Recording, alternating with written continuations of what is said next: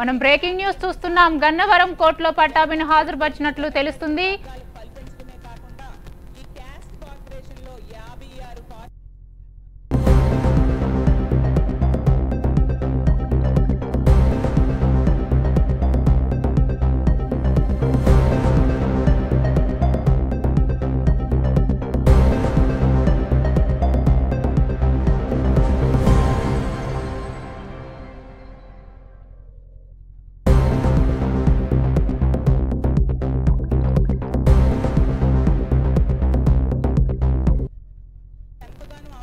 Pattabhi remand పై నిర్ణయం తీసుకున్నట్లు judge తెలుస్తుంది. అయితే పట్టాభి గన్నవరం కోర్టులో ఈ రోజు హాజరు కానున్నట్లు పోలీసులు హాజరుపరిచినట్లు తెలుస్తుంది. మెడికల్ రిపోర్ట్ జడ్జికి సమర్పించి పోలీసులు ఈ విషయం మనకు అందజేసినట్లు సమాచారం అందుతుంది.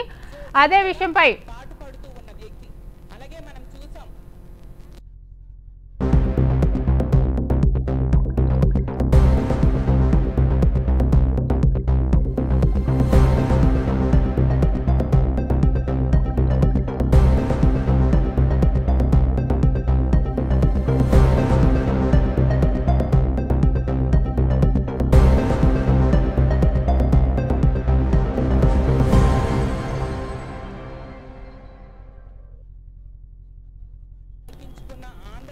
ఇక ఇదే విషయంపై మా ప్రతినిధి ఏడుకొండలు అందిస్తారు. ఏడుకొండలు చెప్పండి.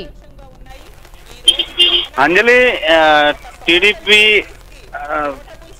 నేత అయినటువంటి పట్టాభి పట్టాభిని కొద్దిసేపటి క్రితం గన్నవరం కోర్టుకు తీ- తీసుకొచ్చారు పోలీసులు. అయితే ఏదైతే నిన్న కోర్టులో ఆయన పైన థర్డ్ డిగ్రీ ప్రయోగించారని విచక్షణ రహితంగా కొట్టారంటే కూడా ఆయన జడ్జికి ఫిర్యాదు చేయడంతో వైద్య పరీక్షల నిమిత్తం విజయవాడ ప్రభుత్వ ఆసుపత్రికి తరలించారు. అయితే రాత్రి వైద్య పరీక్షలు నిర్వహించిన తర్వాత గన్నవరం పోలీస్ స్టేషన్లోనే రాత్రంతా కూడా ఆయన్ని ఉంచినటువంటి పరిస్థితి. ఈ రోజు మరొకసారి కోర్టులోని ఆయన మెడికల్ రిపోర్ట్తో పాటు ఆయన కూడా హాజరుపరిచిన తర్వాత అనంతరం అక్కడ నుండి నేరుగా సబ్ జైలుకు తరలించేందుకు ఏర్పాట్లు అయితే చేస్తున్నటువంటి ఆ పరిస్థితి. ఈ ఆయన తరలించే సమయంలో ఎటువంటి అల్లర్లు జరగకుండా ముందస్తుగానే భారీ బందోబస్తును అయితే ఏర్పాటు చేస్తున్నటువంటి పరిస్థితి. సబ్ జైలుకు వెళ్ళేంత వరకు కూడా అడుగడుగున పోలీస్ పహారా మధ్య ఆయన్ని సబ్ జైలుకు తరలించేందుకు అయితే ఏర్పాట్లు అయితే చేస్తున్నటువంటి పరిస్థితి. ప్రస్తుతానికి అయితే గవర్నమెంట్ ఆసుపత్రిలోనే ఆయనకు జరిగినటువంటి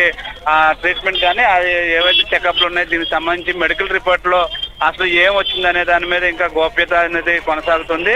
ఆ, ఇటు ఆ జడ్జి తీసుకున్నటువంటి నిర్ణయం మీద కూడా ఈ రోజు ఆధారపడి ఉంటుంది. ఆయన బెయిల్ పిటిషన్ కూడా తోసిపుచ్చినట్టుగా కూడా తెలుస్తుంది. అయితే మరొకసారి బెయిల్ పిటిషన్ వేసేందుకు తా- తన తరపు లాయర్ కూడా ఇప్పటికే అక్కడ చేరుకున్నట్టు తెలుస్తుంది. అయితే ఆయన్ని విచక్షణ రహితంగా కొట్టడం అనేది దాని మీద కూడా పోలీసుల మీద ప్రైవేట్ కేసు కూడా వేయడానికి ఇటు టీడీపీ శ్రేణులు కూడా ఇప్పటికే ఆ, యొక్క కార్యక్రమాలను చూస్తున్నట్టుగా కూడా తెలుస్తుంది. అయితే మొత్తం చూస్తే ఇటు ఆ, గన్నవరంలో జరిగినటువంటి అల్లర్ల నేపథ్యంలో ఇప్పటి వరకు కూడా అరవై మంది మీద కేసు నమోదు చేయగా ముప్పై నిన్న పట్టాభితో పాటు పదమూడు మందిని అరెస్ట్ చేసి వారిని కోర్టు ముందు హాజరుపరిచారు. వీరందరికీ కూడా పద్నాలుగు రోజుల పాటు కోర్టు రిమాండ్ విధించింది. అయితే ఆ ప్రస్తుతానికి పదమూడు మందిని సబ్ జైలుకు పంపగా ఈ పట్టాభిని మాత్రం వైద్య పరీక్షల నిమిత్తం ఆసుపత్రి తరలించారు. ఆసుపత్రి తరలించిన తర్వాత ఈ రోజు ఇటు కోర్టులో తుది నిర్ణయం అయితే ఉంటుంది. అదైతే జడ్జి చెప్పినటువంటి నిర్ణయం ప్రకారం ఇటు ఇప్పుడు ఆయన్ని సబ్ జైలుకు పంపడమా లేదంటే వైద్య ఆ మెరుగైన వైద్యం కోసం ఏదైనా ఆసుపత్రి తరలించడమా అనేది మాత్రం ఇంకా మీమాంసగానే ఉంది? అయితే మరికొద్ది చేపట్లో ఇదైతే తేలనున్నది అయితే ఏడుకొండలు పోలీసులు ఎలాంటి వివరణ ఇస్తున్నారు? అయితే పోలీసులు మాత్రం మేము ఆ, అతని మీద ఎటువంటి తర డిగ్రీ ప్రయోగించలేదని చెప్పేసి ఇప్పటికే అటు జడ్జి కూడా చెప్పడం జరిగింది. అయితే ఆయన కొంచెం సున్నితమైనటువంటి ఆ శరీర తత్వం కల మనిషి కాబట్టి రాత్రంతా నిద్ర లేకపోవడం వల్ల అట్లా జరిగి ఉండొచ్చు అని చెప్పేసి పోలీసులు అయితే చెప్తున్నటువంటి పరిస్థితి. కానీ ఆయన మీద తర డిగ్రీ ప్రయోగించారనేది ఆయన స్వయంగానే చెప్తున్నటువంటి పరిస్థితి. ఎవరో ముగ్గురు వ్యక్తులు ముసుగేసుకుని వచ్చి సుమారు అరగంట సేపు తన చిత్రహింసలకు గురి చేశారని ఈడ్చుకుంటూ ఒక గది నుంచి ఇంకో గదికి ఈడ్చుకుంటూ వెళ్ళారంటూ కూడా ఆయన జడ్జి ముందు చెప్పినటువంటి నేపథ్యంలో ఇట్లన్నిటిని కూడా పరిగణలో తీసుకుని పోలీసులు చేసినటువంటి దాన్ని ఆ నిజంగా తర డిగ్రీ జరిగిందా లేదా అనే దాని మీద కూడా ఎంక్వైరీ చేయాలంటూ కూడా పోలీసులను ఆదేశించినట్టు కూడా తెలుస్తుంది. ఉన్నతాధికారులకు ఆదేశాలు జారీ చేసినట్టు తెలుస్తుంది. Anjali. Right Yedukondalu. Thank you